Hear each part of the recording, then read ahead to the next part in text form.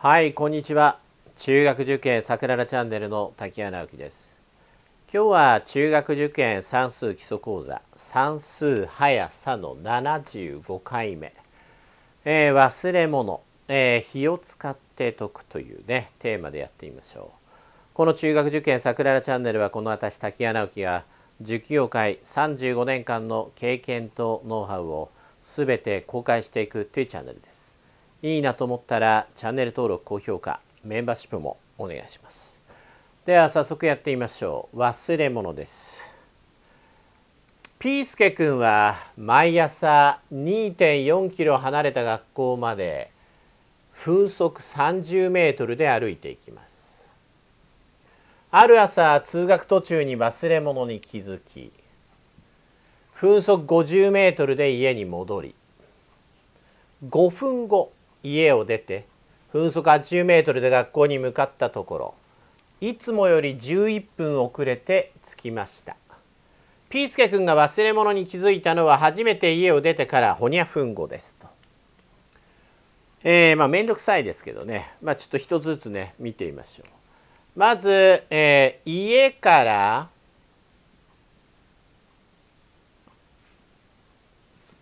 2 4キロメートル離れた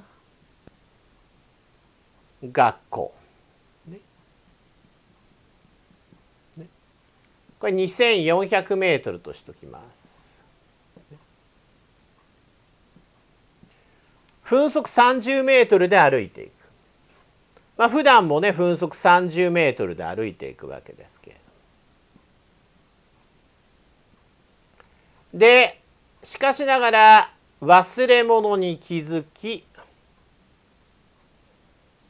分速50メートルで家に戻った。50メートル毎分そしてここで5分家で忘れ物を取って再び、えー、今度は分速80メートル。で行ったらいつもより11分遅刻したと。まあ11分遅れて到着。では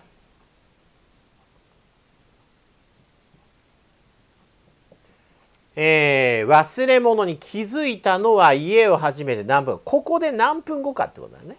ねさあこれ一つずつまあやっていくしかないですけれどもえー、普段より11分遅れたってわけですからね。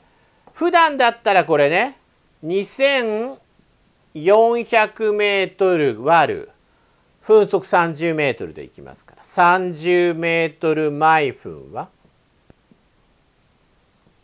01個削って01個削って80分。ね80分かけて学校行くわけですよ。で11分遅れて到着したわけですから今日は80たす11の91分かかってるわけです。そしてもう一つ分かることは5分家にいたことと80メートル毎分で行ったわけですからね今日は80メートル毎分で行った範囲では2400ある80の01個削って01個削って30分で、えー、ついてるわけです。そうだとするとねこの分速30メートルで行って忘れ物に気づいて分速50メートルで家ね、えー、戻るまでこの往復の時間は91分から30分と家にいた5分を付け足した35を引いてこれ引きだよね91-36の56分だよね。この分速30メートルで行って気がついて50メートル毎分で戻った時間は56分なわけです。でこの56分のうちね一つは分速30メートル。で、もう一方は50メートル毎分、風速50メートル。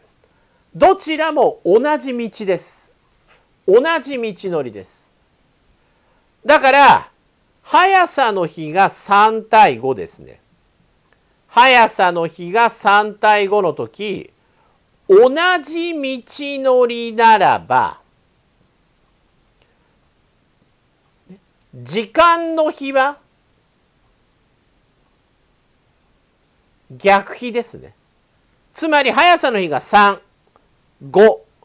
遅い方が3で、速い方が5だったら、かかる時間は遅い方が5で、速い方が3なわけです。5対3の比になるわけです。で、この5、こっちが5、3、そして往復では56分なわけです。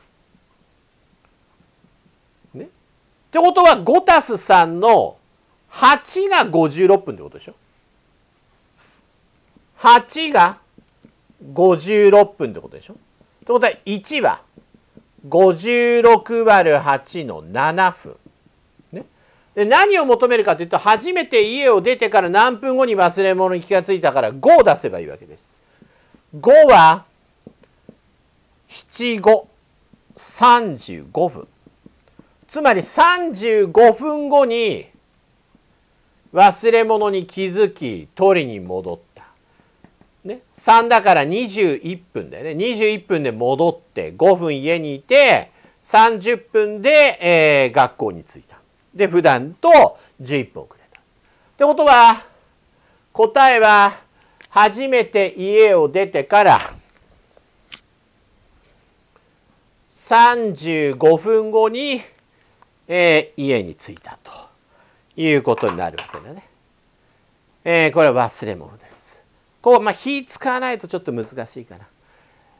いいなと思ったらチャンネル登録お願いします。では今日はここまでにしましょう。